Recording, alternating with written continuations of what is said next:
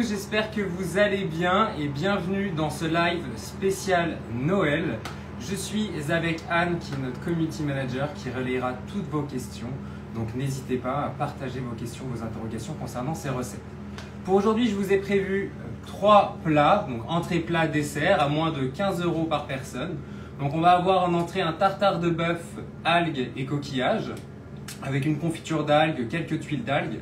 En plat, on aura un cabillaud qu'on va cuire au beurre, bien nacré, une réduction de jus de clémentine montée au beurre, quelques clémentines rôties et une purée de chou-fleur au lait de coco. Et en dessert, on aura une pavlova aux fruits rouges et une crème à l'estragon. Donc je vous laisserai, on parlera un petit peu euh, pendant le live de l'histoire de la pavlova également. Donc voilà, n'hésitez pas à poser vos questions. On va pouvoir commencer tout de suite, étant donné que voilà, on a une heure à peu près de live ensemble. Donc on va essayer de commencer à lancer les recettes dans l'ordre. Et, euh, et puis voilà, bon live à tous. Bonjour tout le monde, bienvenue. Donc, pour commencer cette recette, la première chose que je vais faire, vous vous souvenez, on en a beaucoup parlé euh, durant les cours, c'est votre ordonnancement. Je sais par exemple que mon jus de clémentine va prendre du temps à réduire étant donné que je veux le réduire à glace, euh, donc c'est-à-dire à une consistance très sirupeuse. Donc par conséquent, c'est la première chose que je vais lancer dans ce live. Donc vous voyez dans la casserole ici, Anne, si tu veux filmer, notre jus de clémentine, donc un jus de clémentine frais pressé qu'on est venu filtrer. Donc je vais pouvoir venir le mettre en réduction. Vous inquiétez pas, vous aurez toutes les fiches techniques, les recettes, les grammages sur la plateforme que vous retrouverez évidemment pour tous les l'ensemble des apprenants espace concours. Ici, je me suis préparé une petite purée de chou-fleur au lait de coco, donc j'ai déjà mixé. J'ai simplement cuit mes choux-fleurs dans du lait de coco. Je les ai ensuite mixés. J'ai même pas rajouté de beurre. Je veux vraiment euh, avoir ce goût très naturel du chou-fleur. On a simplement assaisonné au sel et on va avoir vraiment une texture très très lisse et un blanc immaculé. On va venir dresser sur une assiette noire. Normalement, ça devrait bien ressortir. Donc voilà, mon jus de clémentine est en réduction. On va faire attention à que ça ne déborde pas, étant donné que ça peut bouillir très vite. Donc voilà, c'est pour ça que je mets dans une casserole plutôt large. Et on va pouvoir commencer tout de suite notre entrée, donc notre tartare de bœuf au coquillage. Donc juste pour rappeler, on avait fait un petit sondage hein, sur les réseaux sociaux pour savoir à peu près combien vous dépensez euh, par personne pour les fêtes de fin d'année. Et euh, plusieurs d'entre vous, bah, la majorité, ont répondu euh, environ 15 euros. Donc c'est pour ça qu'aujourd'hui, on vous présente ce live où le chef Karl nous prépare un menu complet, entrée, plat, dessert, à moins de 15 euros par personne. Et là, Donc là, on va venir tailler le tartare. Je vais couper en tranches assez fines pour venir détailler ensuite des belles tranches, beaux petits cubes pour mon tartare de bœuf.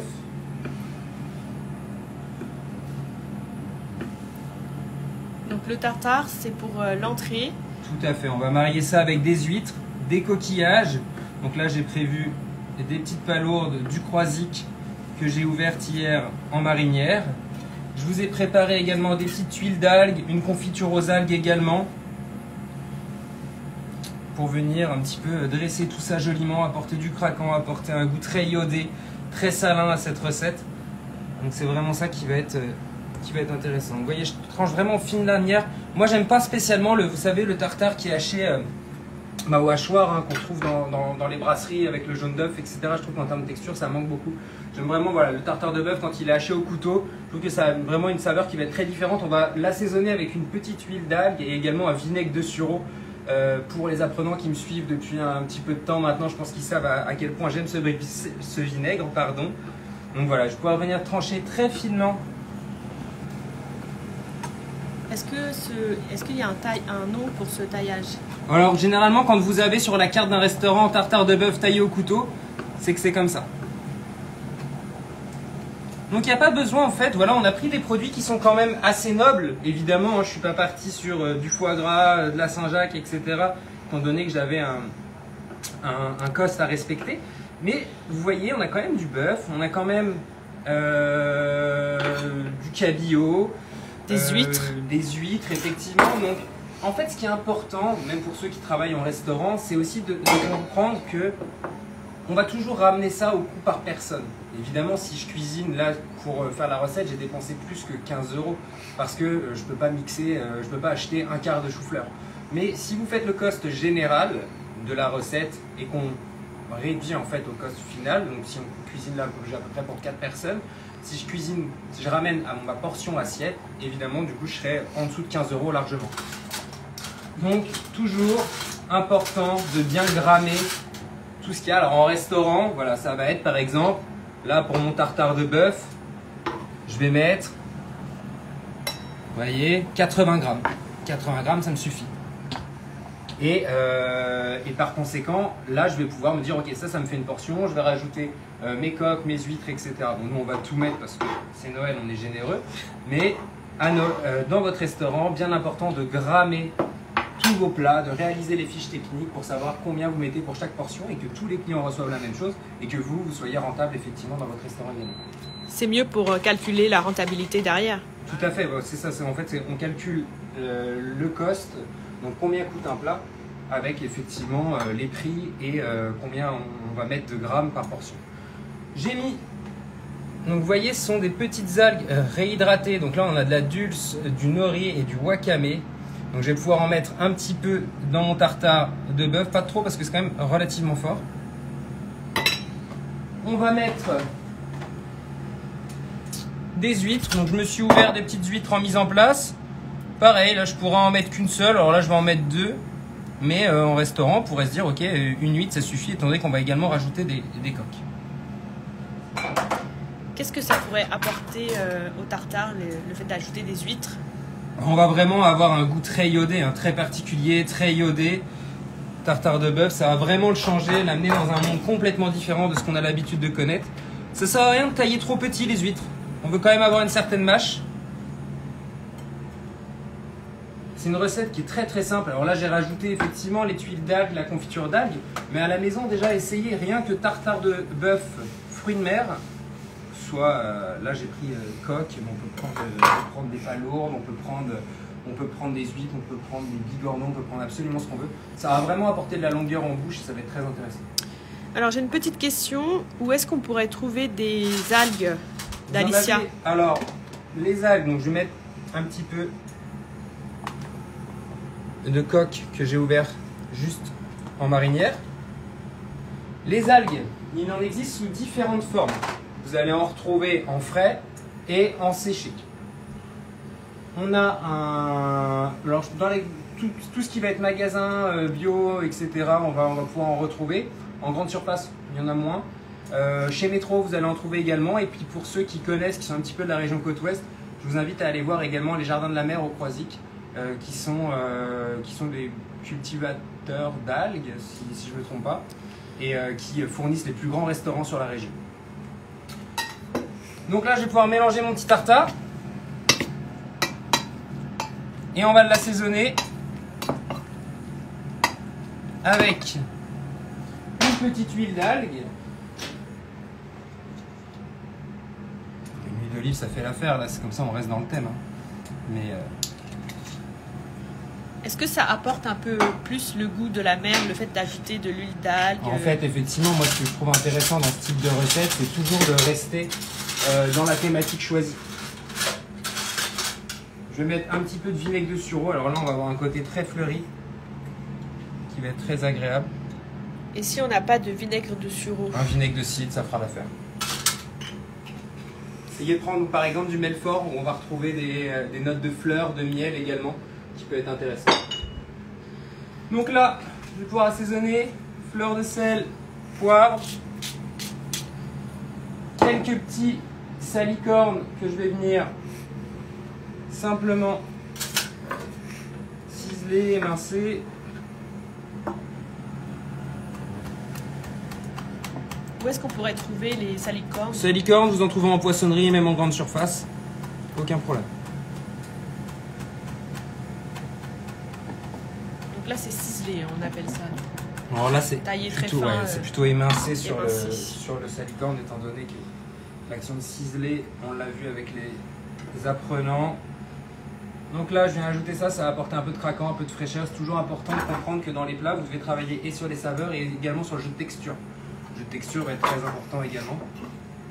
Donc là, mon tartare, il est prêt. Je vais pouvoir goûter.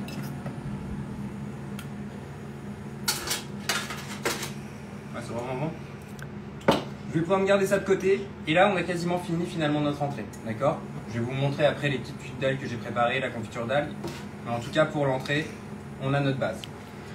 Juste pour les personnes qui viennent de nous rejoindre, euh, là on est sur un live euh, cuisine spécial Noël avec notre chef Karl qui accompagne nos apprenants sur le CAP cuisine. hein.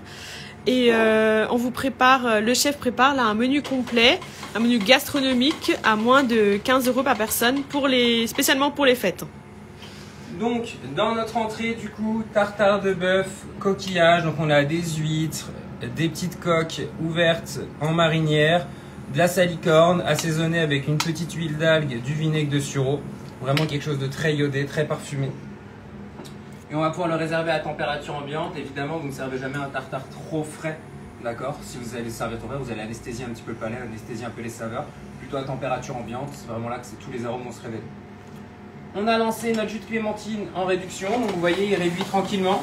Il est encore bien liquide, donc on va pouvoir le laisser vraiment réduire à glace. Dans le même temps, je vais pouvoir commencer du coup ma garniture. Donc sur mon plat. Donc là on passe au plat. hein. Ouais, tout à fait. On va passer au plat. Donc là, je me suis préparé des petites clémentines.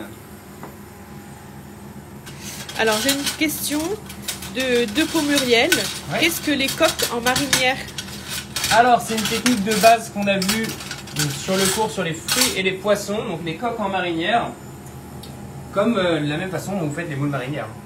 Exactement la même façon. On une échalote, on jette nos coques dedans, on déglace au vin blanc, un peu de poivre, on couvre. Dès que les coques s'ouvrent, on les retire.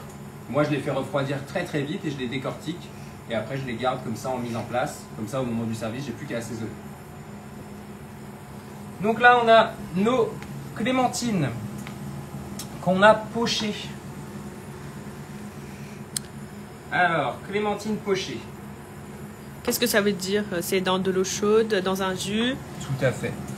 Je suis venu du coup, euh, donc j'ai réalisé un, si- un sirop. Donc on est à peu près sur 1 litre d'eau pour 150 grammes de sucre et euh, 100 grammes de vinaigre de riz. J'ai ajouté du gingembre, des épices un petit peu, vous voyez, euh, citronnelle, zeste de citron, badiane, pour typer ça un peu asiatique et avoir vraiment un goût qui va être, euh, qui va être intéressant et puissant euh, afin que nos clémentines également, on arrive à casser un petit peu les fibres. Parce que là, vous allez voir, je vais les tailler comme ceci.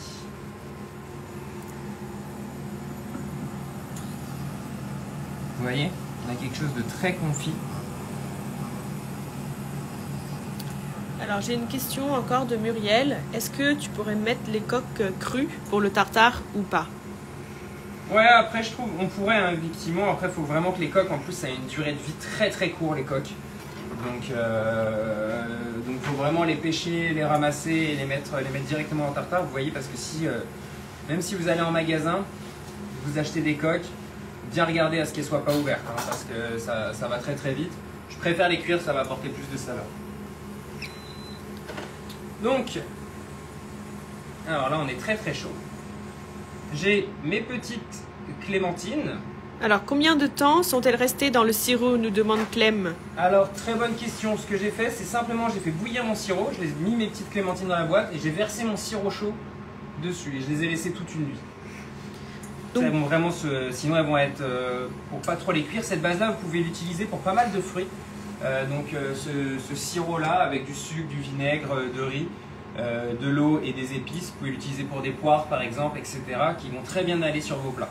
D'accord? Pour marier, j'aime beaucoup faire le mariage entre les, fruits et puis les, plats principaux. Je trouve que ça va, ça va très très bien ensemble.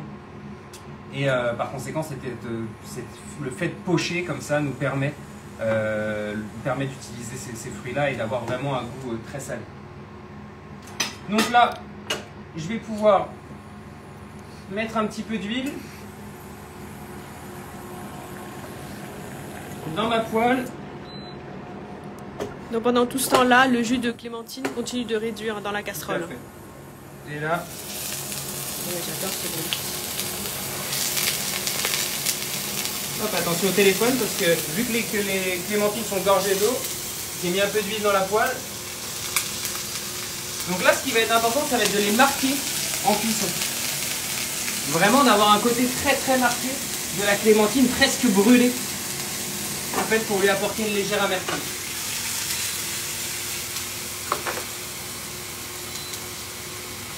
Alors, je peut-être que tu peux rappeler euh, comment tu as fait pour le jus en réduction? Il y a Marie qui vient d'arriver et euh, qui nous demande. Le jus de clémentine? Oui. C'est simplement du jus de clémentine que j'ai fait réduire à glace. Donc j'ai pressé mes clémentines, je l'ai filtré et je l'ai mis dans ma casserole à réduire. Et à la toute fin, on va venir le lier au beurre. Ça sent très très bon là déjà, hein. ça donne super envie. Donc là, on va venir bien rôtir nos petites clémentines.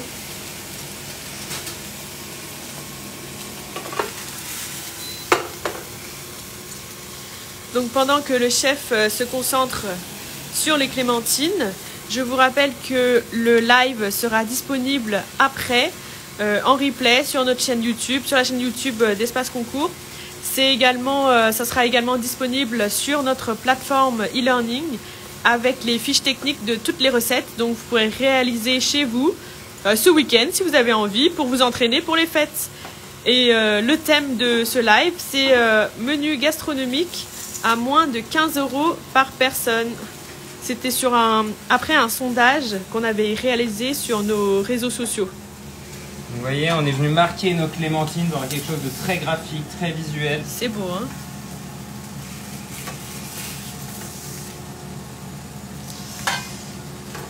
Alors, j'ai une question de Marc-Antoine. Est-ce que le vinaigre de riz a une fonction particulière ou juste pour le goût? C'est vraiment pour le goût. Est-ce que c'est possible de passer un petit coup dans la poêle, s'il te plaît? Attention, c'est chaud. Donc juste pour le goût, Marc-Antoine, si vous n'avez pas entendu. Donc là, finalement, on a notre base. Ce que je vais faire, c'est que je vais mettre un petit peu d'huile quand même en dessous pour éviter que ça accroche au four. Donc il y a déjà eu une pré-cuisson, d'accord, de par le pochage. Et là, on va se les garder de côté. Je vais mettre, je pense, trois clémentines par assiette. regardez. Si vous voyez, vous voyez la consistance sirupeuse dont je parlais tout à l'heure. À ce moment donné là, c'est bon, je ne vais pas aller plus loin. Pourquoi? Si je vais plus loin, je vais en fait réaliser presque un caramel, d'accord? Ça pourrait être intéressant, mais euh, dans le cas de notre sauce, ça risque de développer de l'amertume. Donc,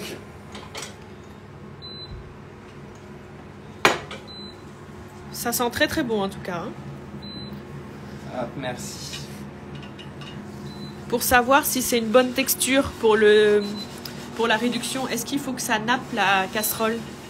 Est-ce que c'est une technique, euh, une bonne technique pour savoir? Ce qui va être intéressant, ça va être effectivement euh, euh, d'avoir vraiment cette consistance sirupeuse, vraiment très épaisse. Donc tout à l'heure, le chef a commencé par préparer le tartare, le tartare de bœuf pour l'entrée, avec des huîtres, une compotée d'algues, si je dis pas de bêtises, et euh, un peu de salicorne. Donc là, on a notre base de tartare, nos clémentines qui sont rôties, notre sauce à ce niveau-là. Ce que je vais pouvoir faire, c'est que je vais pouvoir la monter légèrement au beurre. Donc ça, ça va être la base de la sauce pour le plat. Tout à fait. Beurre de clémentine très réduit. Alors vous allez voir, en beurre, on va, on va y aller. Alors, est-ce que le sirop est salé nous demande Muriel. Alors, j'ai pas mis spécialement de sel. C'est vraiment en fait que ce sirop-là, avec le vinaigre et l'acidité, va très bien aller avec des plats, euh, des plats salés. Mais j'ai pas mis de, sel. On pourrait en mettre un petit peu. Euh, peut-être, Karl, est-ce que tu peux nous rappeler l'intitulé du plat? Qu'est-ce qu'il y a dans ce plat? Oui, tout à fait. Alors là, on va avoir effectivement une purée de chou-fleur au lait de coco. Donc j'ai simplement fait cuire mes choux-fleurs dans du lait de coco et de l'eau. Je suis venu les mixer par la suite. On a nos clémentines rôties, juste ici. Ils sont très très beaux. Hein. On a à ce niveau-là un beurre de clémentine. Donc j'ai fait réduire mon jus de clémentine et maintenant je vais pouvoir monter au beurre.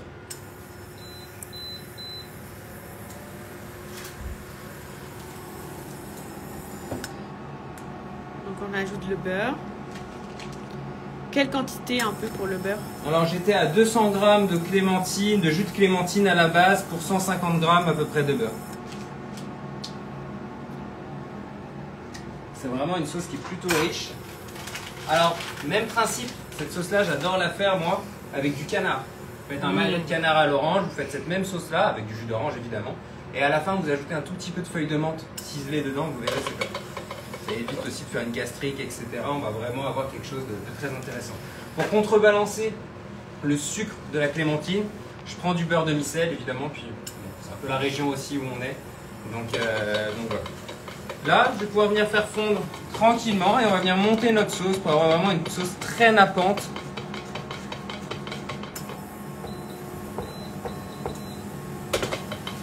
Et après, je vais pouvoir m'occuper du poisson. Pour les personnes qui nous rejoignent, je rappelle qu'on est en train de réaliser un menu pour les fêtes de Noël. Donc, euh, si vous avez des questions sur ce menu ou si vous voulez des conseils sur votre menu, n'hésitez pas à poser toutes vos questions. Le chef euh, pourra répondre euh, à toutes vos questions. Je rappelle également que le chef Karl accompagne nos apprenants sur le CAP cuisine. Voilà, CAP cuisine aussi.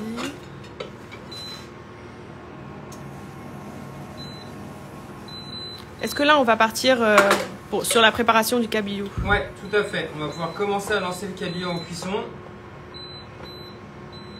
Alors ça, je vais laisser réduire doucement. Mettre ma poêle assez chaude. Vraiment à petit feu alors le. Ouais, on va faire réduire. De toute façon, ça va s'épaissir. Ce qui est important, c'est de pas trop réduire, sinon ça risque de trancher. Donc on voit encore, euh, on voit un peu les petites bulles. Hein. Ça commence à.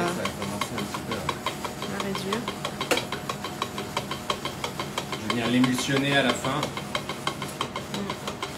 On va faire réduire le tout. À ce niveau-là, ça va être bon. Je vais baisser un petit peu. Et là, je pense que je vais garder ça. On va faire trois portions à peu près.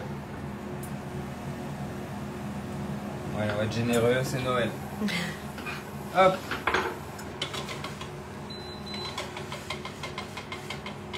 Alors Karine qui nous demande, est-ce que la poêle est très chaude? Alors ici? Alors Karine, est-ce que vous pouvez euh, préciser votre question? C'est la, poêle, la poêle pour, le, cabillaud. Donc non, justement, on va le faire au beurre mousseux, le cabillaud. Donc ce que je veux effectivement, c'est pas avoir une poêle qui va être trop trop chaude. Pour bien venir assaisonner, bien venir euh, cuire le poisson doucement. Donc euh, Karine, je ne sais pas si vous avez entendu, on va cuire le cabillaud avec un beurre mousseux. Oui, pour le cabillaud, elle a précisé du coup. vous allez voir, je vais mettre mon beurre. L'important, c'est que surtout, éviter qu'il noircisse mon beurre. Donc, il faut travailler quand même assez rapidement alors. Non, vous allez voir.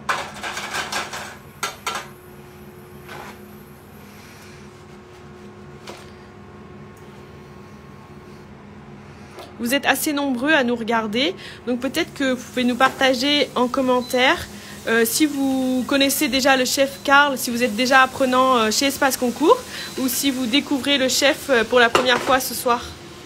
Donc n'hésitez pas à commenter hein, sur, sous ce live.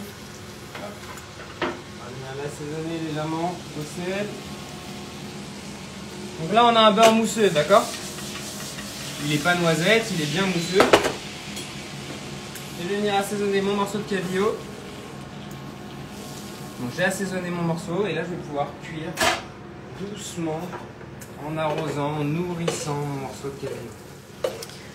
Donc alors on a Lindsay qui est apprenante euh, chez nous avec le chef Karl, Lindsay Cuisine. Bonjour Lindsay. Bonjour Lindsay, il me semble qu'on s'est vu en cours cet après-midi euh, avec Lindsay. Et il y a Marie également qui est en cours euh, chez nous, chez Espace Concours.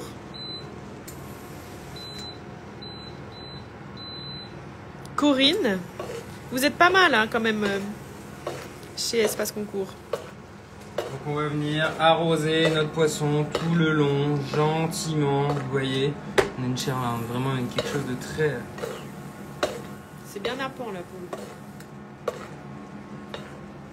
Et là, on a quand même, on a déjà les effluves. Alors là, évidemment, hein, je pourrais ajouter euh, éventuellement un morceau d'ail, euh, un petit peu de, un petit peu de thym si je voulais, mais vous avez compris que sur cette recette, on voulait vraiment se focaliser sur le goût du chou-fleur, du poisson et de la clémentine. Par conséquent, je rajoute pas trop de choses. Ma purée de chou-fleur, c'est pareil.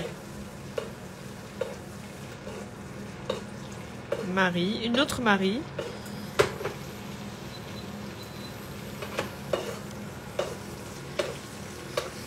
Là, on y va, on arrose au beurre mousseux. C'est l'étape qui prend un peu de temps. Ça sent très très bon. Alors il y a Sid qui est apprenante en pâtisserie avec nous. Donc Sid, vous devez connaître euh, notre chef Maxime qui est, qui est sur la formation CAP euh, pâtissier. Est-ce que le poisson, il est pré-cuit, nous demande Carole Non, non, non, je vais démarrer à cru. Vous vous souvenez, c'est toujours important de bien tempérer vos poissons, vos viandes avant cuisson, d'accord? Donc on les sort toujours 10 minutes, un quart d'heure avant de les cuire. Pour que ça ne soit pas froid à cœur, d'accord? Donc là, je vais vraiment chercher à avoir quelque chose de presque confit dans le beurre. Est-ce que cette technique-là, elle est demandée au CAP ou pas? Ouais, c'est une technique de base. hein. Là, on est presque sur une cuisson meunière, finalement. Et là, vous voyez, je peux filmer, Anne, si tu veux, ici, là, à ce niveau-là, là, là, le beurre mousseux. Et vous voyez qu'il n'est pas noisette, j'ai pas de grain noir dans mon beurre. J'ai une autre question. Est-ce qu'on peut fariner le cabillaud? Pané Fariner. Fariner, on pourrait, ça apporterait pas grand-chose sur cette technique-là. Sur la sole, euh, sur la sole, ça va être intéressant. Donc là, vous voyez, on est déjà bien en termes de cuisson. Je vais pouvoir m'arrêter là. On va le terminer au four. Avec tout le beurre. Effectivement. Là, je vais pouvoir simplement venir. Là, ça se défait déjà un petit peu. Donc, je vais pouvoir le terminer 30 secondes au four. Vous pourrez même le laisser finir. Je pense que je vais le laisser finir directement dans la poêle. Comme ça, au moment donné du dressage, on sera bon. Donc le cabillaud qui a été cuit dans un beurre mousseux.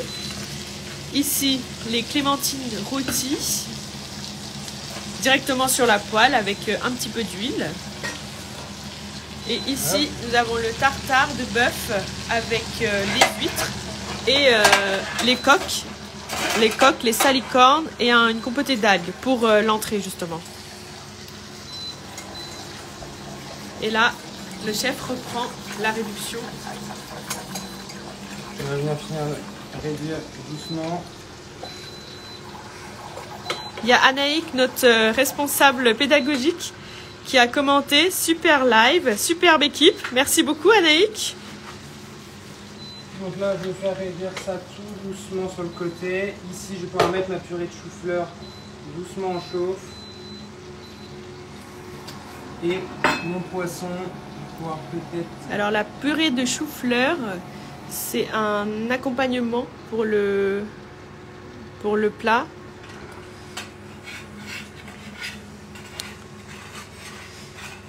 Alors il y a Claire Hervé qui nous demande quelle quantité de beurre mettre. Pour le poisson, Claire? Hop.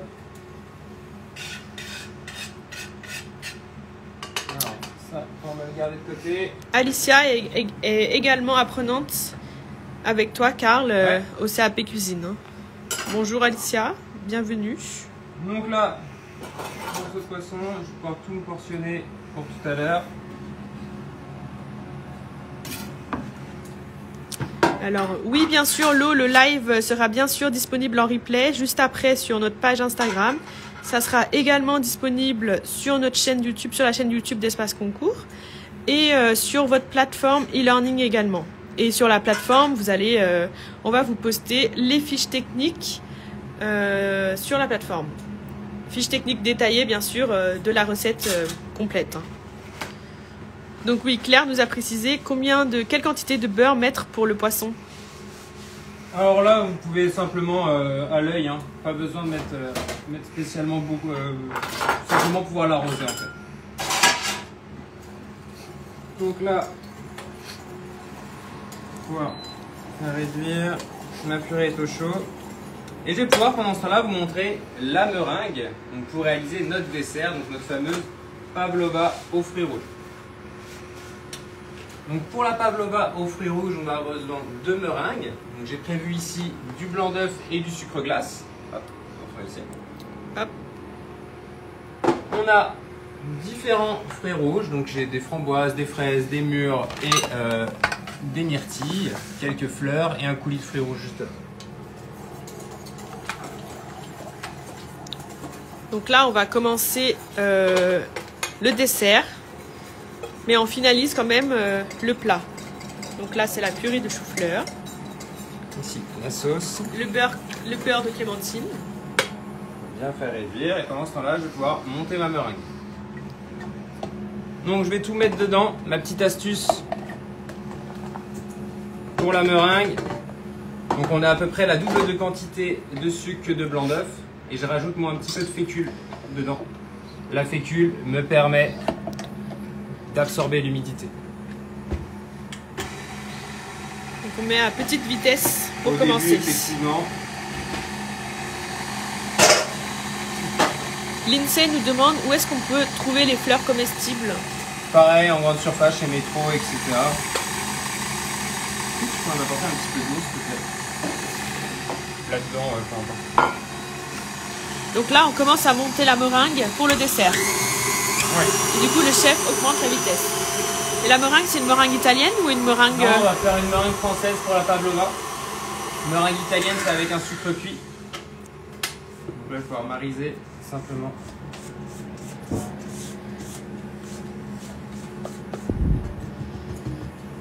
est-ce que... Et je vais pouvoir. Merci. Donc on est aussi avec euh, Léa hein, qui apporte euh, les, euh, les ingrédients petit à petit au chef. Léa qui est notre community manager également sur Espace Concours. Alors, Marc-Antoine nous demande si c'est fécule de maïs ou fécule de pommes de terre. Là, j'ai utilisé de la fécule de maïs. Fécule de maïs pour la meringue, pour le dessert.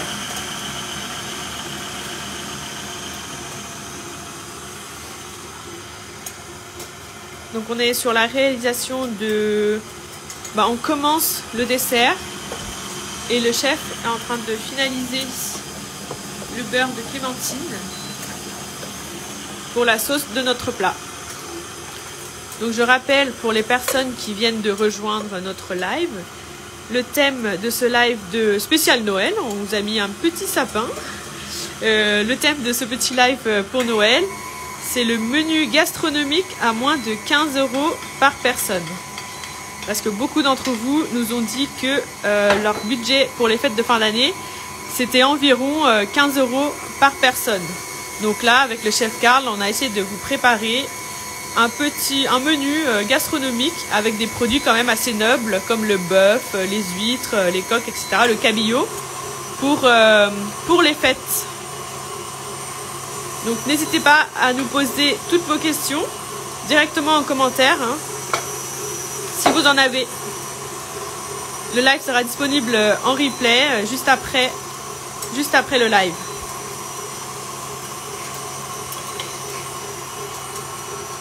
Et pour les personnes qui ne connaissent pas euh, le chef Karl, donc le chef accompagne nos apprenants sur le CAP pâtissier chez Espace Concours. Le on CAP cuisine. La meringue, on a notre tartare. Ici, on a tous les éléments pour notre plat. Et je vais simplement, du coup, préparer dans ce petit cul de poule que je vais mettre à l'intérieur de ma meringue. À l'intérieur de cette meringue, il y aura un petit tartare de fruits. Donc, effectivement, un petit peu comme je disais tout à l'heure, avec ces différents fruits rouges. J'ai préparé une crème à l'estragon en amont. Alors, cette crème à l'estragon, je suis simplement venu faire chauffer de la crème 35% avec de l'estragon dedans. Simplement frémir, d'accord, pour pas trop la déstabiliser. Ensuite, j'ai ajouté, bah, je l'ai mixé cette crème, je l'ai refroidi et je l'ai monté en fait tout simplement comme une chantilly. Alors il y a Anaïk qui nous demande pour la meringue, j'utilise du sucre en poudre ou du sucre glace? Moi j'ai mis du sucre glace, ça permet d'avoir une, une incorporation plus, euh, plus facile du sucre. Là, ça marcherait également avec du sucre en poudre. Est-ce que la meringue, elle est plus lisse si on utilise le sucre glace par rapport au sucre en poudre ou pas? Ça ne veut pas changer grand-chose. Simplement, en termes d'incorporation, c'est mieux d'utiliser du sucre glace. Une autre question de Marie. Quel morceau utiliser pour la viande de bœuf? Pour le tartare vous pouvez, du, vous pouvez, prendre du, filet, vous pouvez prendre euh, différents du temps, vous pouvez prendre du gîte également, ça va dépendre, euh, ça va dépendre un petit peu de, de, ce que vous voulez. Là moi j'ai pris, je crois que c'est dans le gîte que j'ai pris, donc le morceau a fondu. Donc on va bien le couper euh, relativement fin. Il n'y aura pas trop de pas trop de problème au niveau de la tendreté de la viande. Donc là je vais pouvoir venir également mettre quelques brins d'estragon. Donc juste pour revenir euh, à la viande de bœuf, vous avez un cours hein, dans votre manuel sur les différentes parties de viande, que ce soit du bœuf, euh, du porc, du poulet, etc. Euh, dans votre manuel de CAP.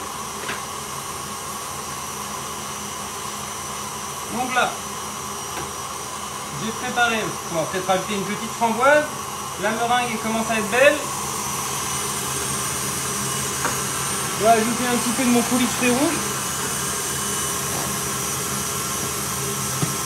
Un petit jus de citron.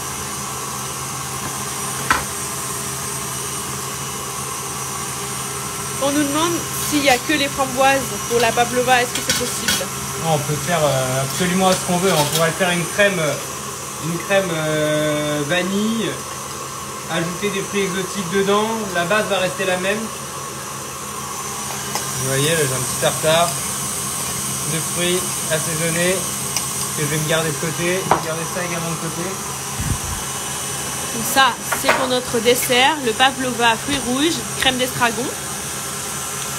Il y a aussi la meringue qui est en train de monter, hein, avec du sucre glace et du jaune d'œuf. Et le chef a ajouté un peu de fécule de maïs. Ouais, j'ai ajouté un petit peu de fécule de maïs. Euh... Dans la meringue. Et là, c'est les... les fruits que le chef a utilisés pour notre pavlova. Et pour répondre à votre question, euh, Karine, oui, bien sûr, vous pouvez utiliser euh, que les framboises pour votre pavlova. C'est tout à fait possible. On peut ajouter toutes sortes de fruits hein, si, euh, dans la pavlova, hein, les fruits qu'on aime, euh, les fruits exotiques, euh, les fruits rouges, tout ce que vous voulez dans la pavlova.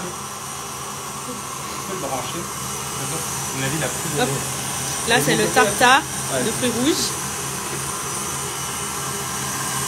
Hop, j'arrive ici. Ici, c'est la purée de chou-fleur que le chef a réalisé pour notre plat, notre plat principal. Et là, c'est le beurre de clémentine pour la sauce du plat. Donc pendant ce temps-là, la meringue continue de monter.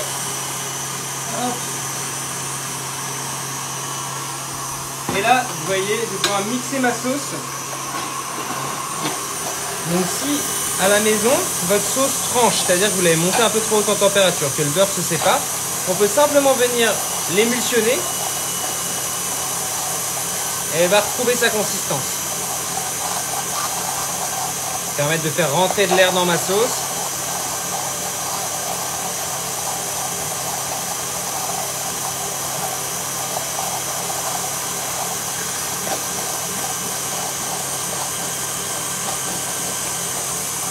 Comme ceci. Là, une belle sauce bien lapin.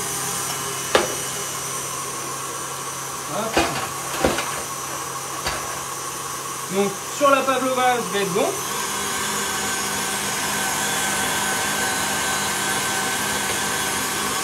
Le menu de ce soir, on a entrée, plat, dessert à moins de 15 euros par personne. Et on est en train de réaliser le dessert avec le chef Karl. Pavlova aux fruits rouges, crème d'estragon pour le dessert. Un dessert assez frais hein, pour, les, pour les fins de repas de Noël. Bon, ça fait du bien quand même quand ça s'arrête. Le... Pouvoir la monter encore un tout petit peu, désolé pour le bruit. Tant qu'elle soit bien ferme.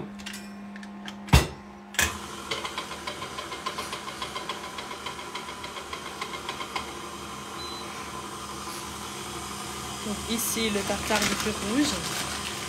Et là, on prépare la meringue pour la pavlova.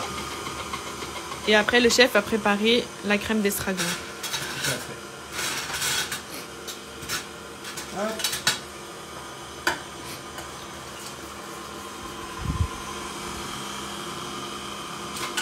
Voilà. Donc là, on a vraiment une sauce qui va être très nappante. Et je vais pouvoir vous montrer le pochage des meringues.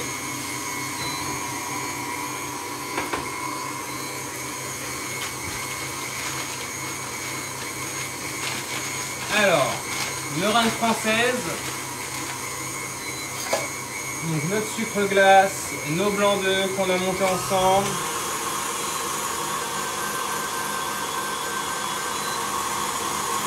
On a remis un peu euh, à tourner la meringue. hein. Il y a l'INSEE qui nous demande comment le chef fait son coulis de fruits rouges. Alors j'ai simplement pris euh, des fruits rouges que j'ai mixés avec, donc je les ai fait chauffer, j'ai mixé avec un peu de sucre et un petit peu de jus de citron. Donc là je vais pouvoir prendre ma meringue et on va venir la pocher. Est-ce que c'est au programme du CAP, la pavlova? Alors pas pavlova mais meringue oui. D'accord.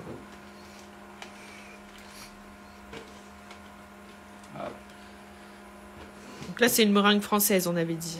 tout à fait. Et pour la meringue française? Hop.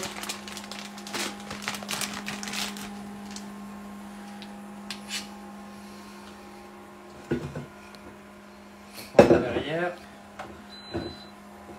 Et je vais pouvoir pocher ma meringue. C'est parti pour le pochage.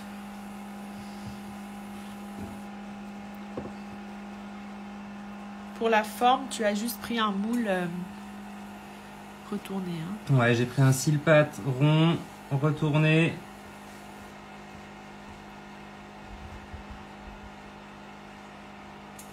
Dites-nous un peu en commentaire euh, ce que vous avez prévu, ce que vous prévoyez pour votre menu euh, de fin d'année, votre menu de Noël. Est-ce que vous invitez chez vous ou est-ce que vous avez la chance d'être invité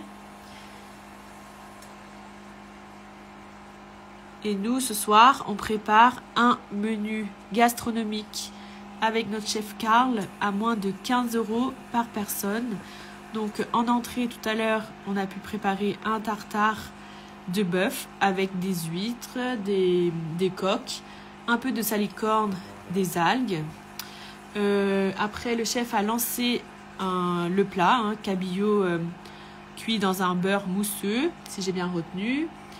Un- une purée de chou-fleur. Et là, il y a toujours la sauce, euh, le beurre de clémentine qui est en train de, réduire. Et là, on est sur la réalisation du, dessert. Ah, voilà mon beurre de clémentine. Tout à l'heure, ça avait une petite coupure extrême, mais regardez la texture. On a vraiment quelque chose d'ultra nappant. Donc, c'est ça que je veux comme rendu final, ok? Vous avez vu Je suis venu l'émulsionner un petit peu. Et on va pouvoir se le garder de côté. Il est bien chaud. Notre purée de chou-fleur, elle est chaude. Sur le pochage, vous avez vu, donc j'ai poché un petit peu en dôme comme ça. On peut faire après toutes les formes qu'on veut. hein. Simplement, moi j'aime bien avoir quelque chose de creux pour pouvoir la farcir euh, ensuite.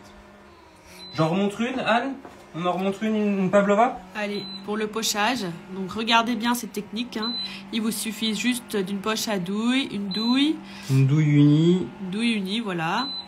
Et euh, un moule retourné, comment tu as appelé ça Ouais, c'est un moule, euh, un moule cile-pâte en sphère que j'ai retourné pour ensuite venir pocher dessus.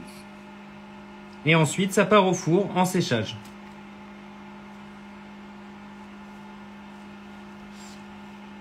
Alors, il y a beaucoup de personnes qui sont invitées cette année. Donc, vous avez beaucoup de chance. Vous pouvez peut-être apporter le dessert, du coup, la, pavlova aux fruits rouges. Là, le chef est en train de pocher euh, la coque de sa pavlova. J'ai une question de Cathy, par contre. Cathy, pardon. Euh, pour ceux qui ne mangent pas de viande, est-ce que c'est possible de poêler l'entrée, le tartare? Bah, si vous mangez pas de viande, même poêlée. Euh, pas, euh, pas- pas de viande. J'ai oublié un mot dans le.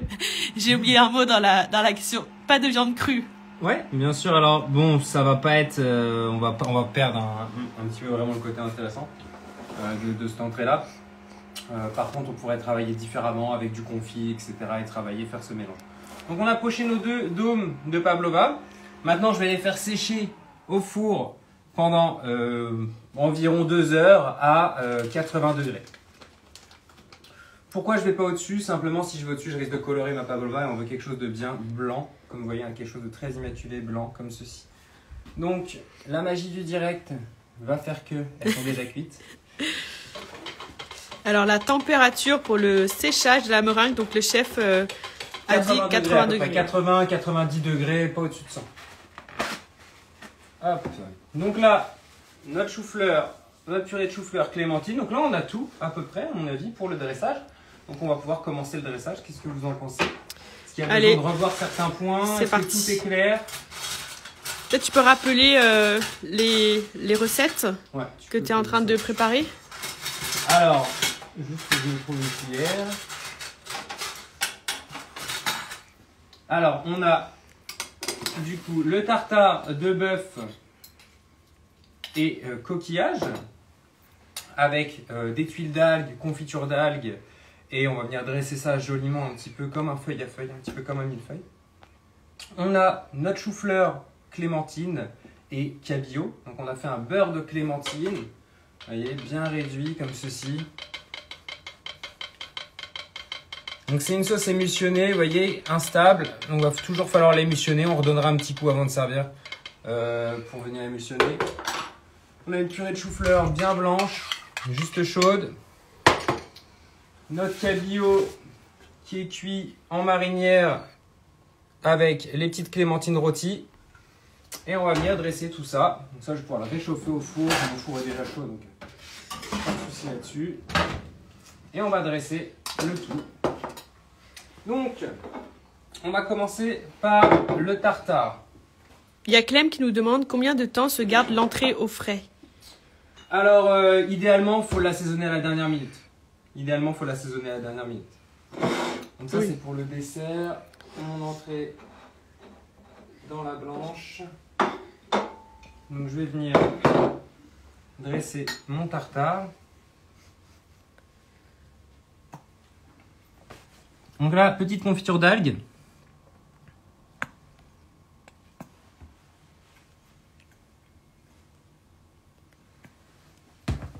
Je vais venir dresser un peu de mon tartare.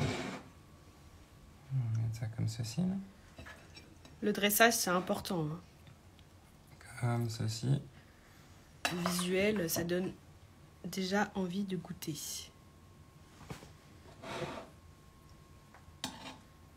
À ce niveau-là.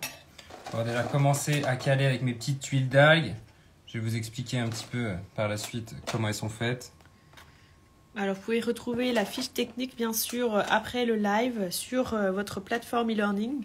Si vous avez envie de reproduire la recette pour votre, pour votre dîner de Noël ou pour votre dîner de réveillon, hein, comme Joshi qui, qui reçoit chez elle cette année. Alors, il y a Honorine qui nous pose une question. C'est quoi comme ingrédient qu'il faut? Est-ce que vous pouvez préciser votre question? Est-ce que c'est sur les tuiles d'algues? Est-ce que c'est sur le tartare? Là, je vais vraiment venir recouvrir un peu l'ensemble de mon tartare pour apporter vraiment du croustillant, quelque chose de très, euh, très graphique avec ces tuiles d'algues euh, très, euh, très salines.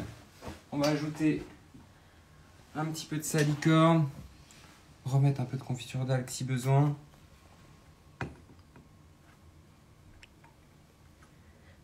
Cette confiture d'algues, est-ce qu'elle est salée? Est-ce qu'elle est sucrée? Elle est acide. Elle est acide. Sur une base de pickles. Donc on a les algues réhydratées, du sucre, du vinaigre blanc. C'est pour apporter un petit peps euh, à Ouais, l'entrée? Tout à fait, et puis rester dans ce côté très iodé, très, euh, très salin également. Donc là, je viens poser quelques salicornes. Il y a Bou qui reprend le service. Elle va regarder le replay sur la plateforme. Bon courage, Bou. Bon service, bon courage à toutes et tous. Ceux qui travaillent, une période un peu... euh, Un peu speed pour les fêtes de fin d'année. Ouais, tout à fait. Donc là, on a pas mal de choses. Voilà, les petits salicornes, les petites tuiles d'algues. C'est une entrée qui est relativement simple à dresser. Alors je me permets Ouais, de tourner l'assiette pour qu'on voit bien. Donc ici, on est sur l'entrée. Donc tu peux réexpliquer rapidement peut-être. euh, Alors, tartare de bœuf et coquillage, tuiles d'algues, confiture d'algues. Et euh, on a assaisonné vinaigre de sureau avec un petit peu de, un petit peu d'huile d'algue également. Vous voyez, l'essentiel c'est vraiment de venir cacher un petit peu ce tartare. De venir cacher un petit peu ce tartare avec, euh, avec nos tuiles. Oui, bien sûr, Honorine, on va poster euh, les jouer- recettes. Et de jouer sur les volumes. Toujours important de bien jouer sur les volumes quand on dresse. Vous voyez, on va dresser un petit peu tout ça. Voilà. J'enchaîne avec le plat. Une entrée très gastro. hein, pour... Là, je vais pouvoir venir avec ma purée. Ça, je vais pouvoir l'émulsionner légèrement.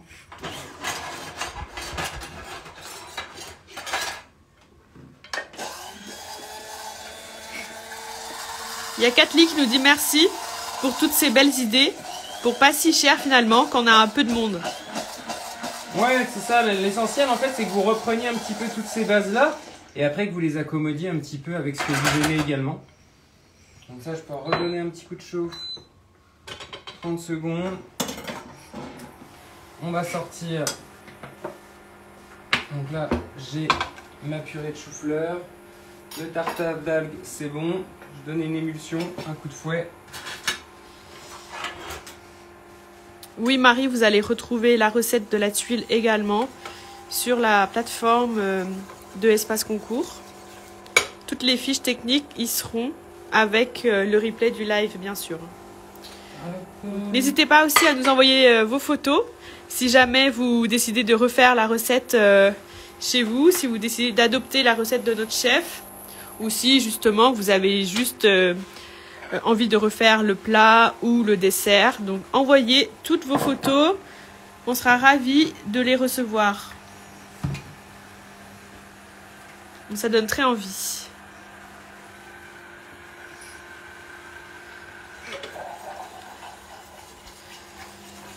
Donc là, on va partir hein, sur le, dressage de l'entrée du plat, pardon.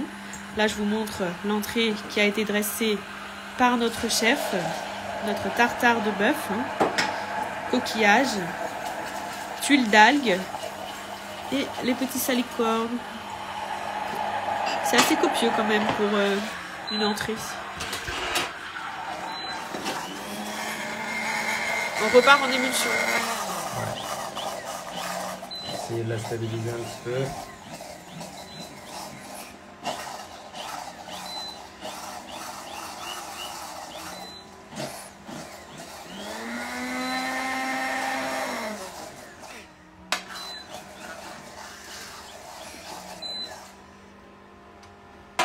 Hop. C'est bon et je vais pouvoir commencer mon dressage. Donc, à ce niveau-là, je vais pouvoir mettre du coup, mes différents Donc là j'ai mon cabillaud.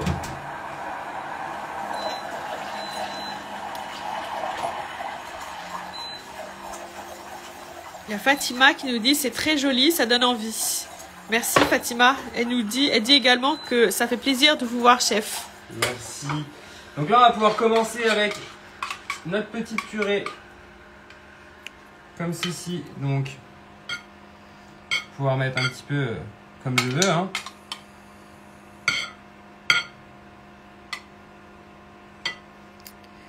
On est sur le dressage du plat. hein.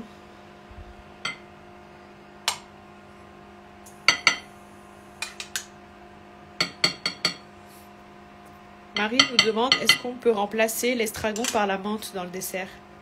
Ouais, bien sûr, là, tout simplement que j'ai fait une crème à l'estragon. Donc, c'était euh, c'était intéressant de, de mettre les deux. À ce niveau-là, je vais pouvoir prendre mes morceaux de cabillaud. Vous voyez, ces feuilles là qui sont très bien cuits. Pour se mettre un morceau là, un autre morceau à ce niveau-là. On va y aller avec les petites clémentines rôties, juste tièdes, juste chaudes. On peut également déposer comme ça un petit peu sur le poisson. On s'en met trois. Donc là, Voilà. notre cabillaud repose sur une purée de chou-fleur. Là, je vais pouvoir mettre mes petites carmines rouges que j'ai posées dans la glace juste auparavant. Karine nous dit c'est très beau. Merci Karine. Hop. Alain aussi dit super joli. Merci Alain.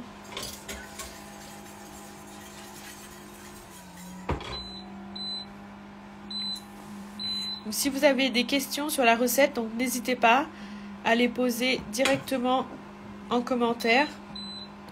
Le chef pourra répondre à toutes vos questions. Hop. Donc là, je vais venir.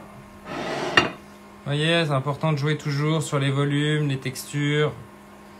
Donc là, par exemple, sur ce plat-là, j'avais pas spécialement de, euh, de croquant. Donc je me suis dit, base, j'avais mis des pousses de moutarde et je me disais, mais ça manque quand même un peu de, de croquant dans ce plat-là. Donc ce que j'ai fait, c'est que j'ai pris des petites, euh, des petites endives carmine, là, des petites endives rouges, que j'ai taillées en fait un petit peu joliment, vous voyez. On a essayé de faire quelque chose de très. euh, comme si on est venu les placer dans de l'eau glacée. Cette eau glacée là les a fait bien, euh, bien curler joliment. Et on aura vraiment de la mâche et du croquant. Vais pouvoir émulsionner une dernière fois ma sauce et venir la dresser. Donc Maria, la sauce, elle nous demande c'est quelle sauce Donc on a un beurre de clémentine. Donc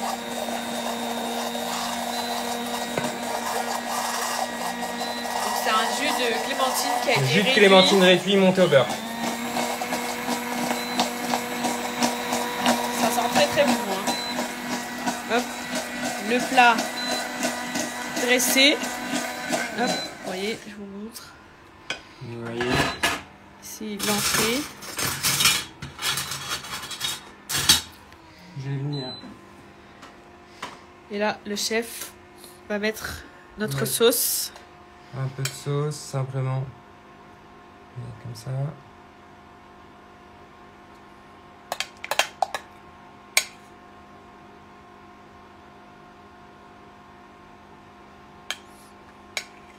Ça a l'air très bon.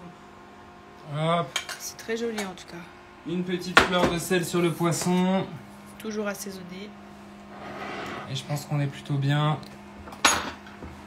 Hop. Sur le plat. Les petites carmines. Voilà pour terminer.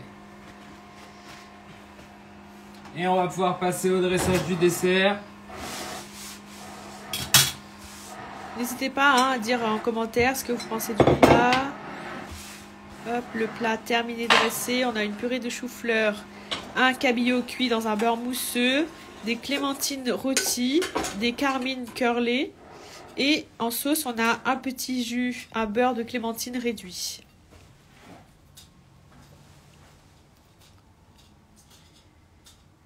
Ah, merci Katli qui nous dit euh, le menu donnait envie sur le lien du CAP. Alors, l'intitulé du plat exact. Est-ce qu'on a un- un- une appellation, un nom pour Moi, euh, généralement, je pour ce les plat. Trois, euh, les trois ingrédients hein, chou-fleur, euh, chou-fleur, clémentine, cabillaud. Et là, on va pouvoir passer au dressage. Donc, vous avez vu, j'ai mes pavlova qui sont creusés à l'intérieur. Je vais pouvoir garnir avec ma crème et l'estragon. Donc, c'est une crème. Vous voyez, comme ceci. Je vais pouvoir ensuite ajouter. Il est où mon petit tartare de fruits? Juste ici. Mon tartare de fruits. Merci beaucoup hein, pour vos commentaires. Magnifique, ça donne envie. Association au top. Très joli, impeccable, magnifique. Validé pour le réveillon, dit Corinne. Merci Donc beaucoup. voilà, et à ce niveau-là, je vais pouvoir simplement venir retourner comme ceci ma pavlova sur mon assiette. on va terminer par quelques points de coulis.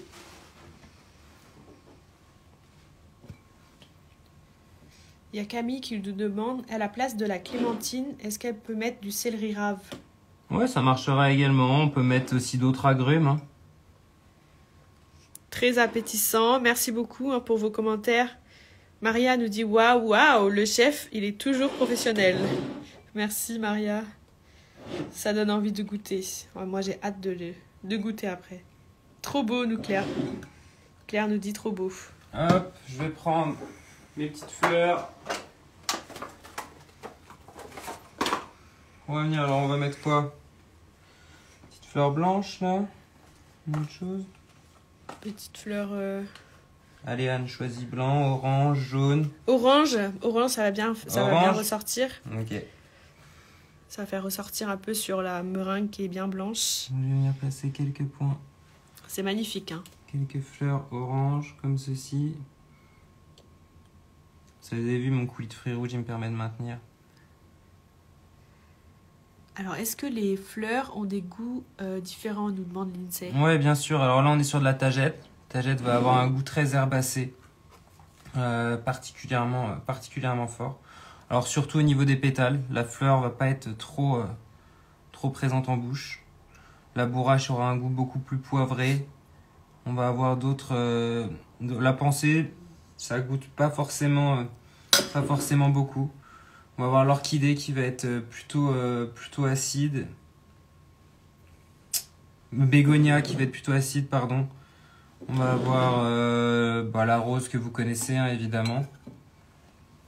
Faut en remettre pour ça. Il y en a vraiment partout. Alicia nous dit c'est magnifique. Merci pour vos commentaires. Merci à vous aussi d'être présents sur le live et de nous regarder. Merci de nous soutenir. Donc euh, n'hésitez pas à vous abonner si vous n'êtes pas encore abonné à Espace Concours. Donc il y aura bien sûr d'autres lives. Euh, on propose aussi des réels, euh, des tutos. Donc on alimente notre compte. Donc n'hésitez pas à vous abonner si c'est pas encore fait. Hop, et vous voyez, on vient terminer la pavlova. Des petits pétales Oui, Camille, ce sont bien des fleurs comestibles. hein. Pas de souci, pas de problème sur là-dessus. la tagette. Mettre une petite poudre d'hibiscus, vous pouvez mettre ce que vous voulez. Il y a Damien qui nous dit c'est super joli, bravo à notre chef. Merci. Hop, c'est bon pour moi. C'est magnifique. Hein. La petite pavlova. Est-ce qu'on est rentré dans les temps? Alors, il est 19h. On a fait entrée, plat, dessert à moins de 15 euros par personne. Donc, donc Camille, vous pouvez bien sûr retrouver tout le live en replay juste après sur notre page Instagram et également sur notre plateforme. Alors, dernier petit conseil pour le jour CAP. Le petit bol d'eau avec un peu de vinaigre. Et viens Anne filmer. Là, les grosses traces de doigts. On n'en veut pas le jour du CAP et moi non plus dans mes assiettes. D'accord? Donc ça, la petite astuce, vous faites toujours vos bords d'assiette avant d'envoyer une assiette en salle. Le jury, euh, est-ce qu'il regarde euh, Ouais, tout à fait. C'est des petits détails qui vont vous faire gagner des points rapidement. Donc voilà, on a réalisé notre entrée plat dessert en environ une heure à moins de 15 euros par personne. Donc tartare de bœuf, algues, coquillages. On a cabillaud, nacré, beurre de clémentine et euh, une petite purée de chou-fleur au lait de coco avec des belles clémentines rôties. Et juste ici, on a notre pavlova aux fruits rouges et crème à l'estragon. La crème à l'estragon, on a fait chauffer notre crème, on a mis notre estragon, on l'a mixé, on l'a fait refroidir et on l'a monté comme une chantilly traditionnelle. J'ai quelques petits commentaires. Bonsoir, chef Karl, c'est Stéphanie, ancienne apprenante en CAP. Bravo pour le repas. Elle va tester, donc n'hésitez pas à nous envoyer des photos. Magnifique, Marie nous dit. Alors, est-ce que tu peux nous rappeler le nom des fleurs euh, Alain nous demande? Là, j'ai mis de la tagette. Après, vous pouvez, euh, vous pouvez travailler sur de la pensée qui va être relativement neutre en goût. Ça va ressembler à ça. Ici. Là, on est sur de la bégonia. On est sur de l'œillet ici. Vous voyez, qui ressemblent un petit peu comme ça. Aussi appelé œillet d'Inde. C'est la bégonia, très acide. Cette partie-là est très acide au niveau du, pédoncule ici. Là, on est sur de la pensée également. Voilà un petit peu différentes fleurs. Après, c'est toutes les mêmes ici. Donc vraiment, tagette, ça va avoir beaucoup de goût. Bégonia, acidité. La rose, elle a le goût de rose. Et après, euh, la pensée et les œillets euh, traditionnels, ça, pas forcément beaucoup d'intérêt gustatif. Donc voilà, vous avez nos trois plats. Merci à tous hein, d'avoir regardé ce live. Vous retrouverez notre chef Karl sur nos formations en SAP et cuisine et la recette en replay juste après sur notre page Instagram. Merci beaucoup à tous. Merci à toutes et tous. Très belle fête de fin d'année et à bientôt. Merci à tous. Bonne soirée. Au revoir. Au revoir.